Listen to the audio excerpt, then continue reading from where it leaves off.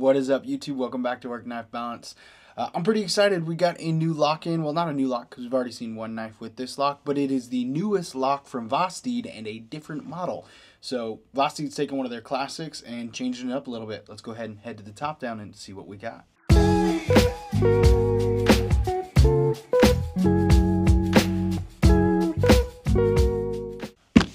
All right. So we got this in through the pass around group. This is the Vosteed Raccoon. Before we get too far into that, though, I want to go ahead and say thank you to anybody who's already liked and subscribed to the channel. If you haven't, feel free to hit that subscribe button down below. You can also follow us at Work Knife Balance 939. That's the best way to communicate with us. Let us know what you want to see, what you don't want to see, all that good jazz. So this is the Vosteed Raccoon, the trash bandit himself. Uh, this is their newest variation of the Raccoon. The Raccoon is kind of like their uh, flagship model. I would say this is kind of something that if if everyone if you hear Vosteed, this is what people know. Uh, at least for the most part, people know the raccoon. Um, there are a couple other really cool models out there that they've become popular for: the Nightshade, the RS Chaos. Um, they've got a couple others: the Hedgehog, the Corgi, stuff like that. But uh, this is the raccoon, so we're gonna go ahead and take a look at this. We'll do side by side comparisons. We'll do some tip to tail measurements. Um, I'll give you my thoughts and opinions. It's probably going to be a short video because we've seen a raccoon before and the knife overall hasn't changed. We've just changed the lock on it. So yeah, let's go ahead and get started with the tip to tail measurements. Tip to tail, we're looking at about seven and a half overall length. We're looking at about 3.25 on the blade with about three inches on the cutting edge. You've got a really nice kind of choke up sharpening choil right there as well. So that's pretty cool. We'll go ahead and get started with some side-by-side -side comparisons. We'll start with something a little bit bigger. We've got the CDC Chicago. We're going to put right up top. Then we'll go ahead and pull out the Knafs Lander 2 down below. We'll go ahead and get the Kizer Veritas up top. And we'll go ahead and pull out the Civivi Elementum to put down below. We'll go ahead and grab the CJRB Pyrite to put up top now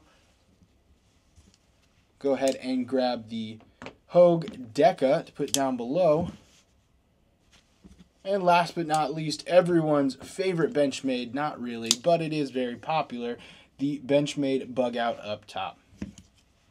So there's some really good side-by-side -side comparisons. I think um, it kind of falls in that bug out size as you just saw there right at the end. So it is a it's a really good size and fit comparison to for a lot of people. Uh, Ergos are still fantastic. The Raccoon is a solid knife. Comes in a couple different variations. They have a button lock variation, which shouldn't be confused with this top liner lock. Easiest way to tell the difference is when you're looking at them side by side.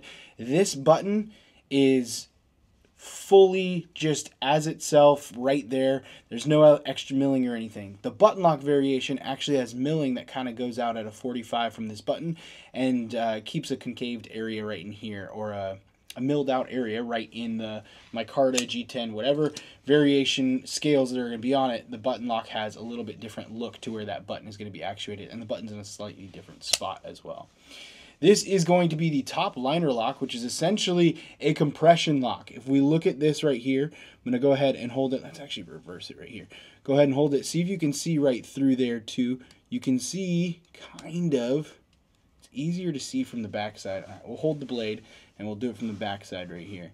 You can kind of see that actuating right there. I, I would take it apart and show you, but this is not my knife, so I don't want to take it apart. Um, other than the change on the locking system, I think it was an upgrade for the lock.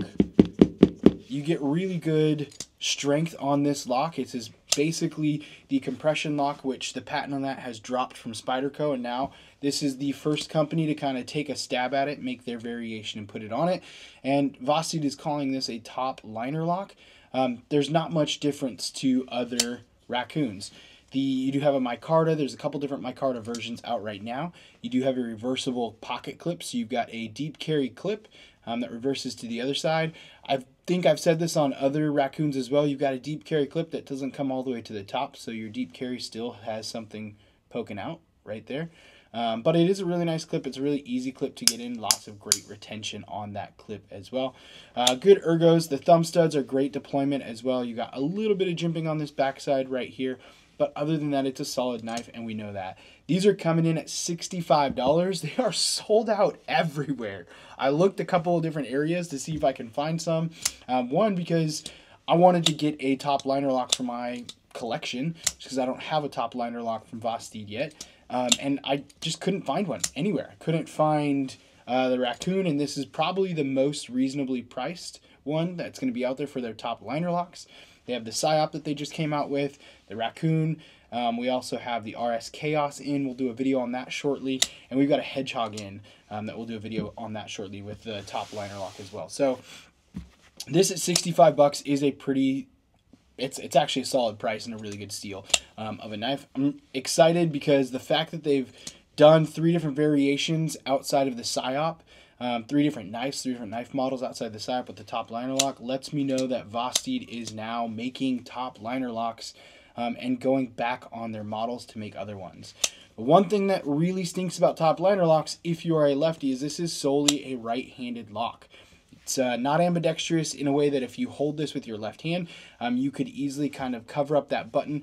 And in the right pressure and the right consistency, you might actually push that button, which would loosen the lock for it to come down on you. So you want to be careful with that. And even as a left-handed person, it's going to be a little bit harder to get in there and operate that. Now you can still operate this left-handed. It's just going to be a little bit more, you have to be a little bit more conscious of it as you're going through it. So left-handed and right-handed are both going to be able to use the knife, um, so you could flip the clip over. I just would be more conscious if I'm carrying this left-handed. I wouldn't say this is 100% yet an ambidextrous lock, something like the access lock is.